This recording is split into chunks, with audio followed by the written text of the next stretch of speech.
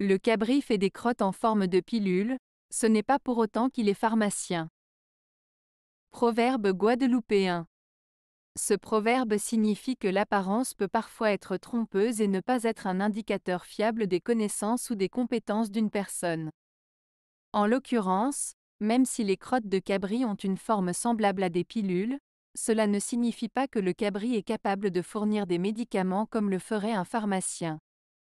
Il est donc important de ne pas juger une personne uniquement sur son apparence ou ses actions superficielles.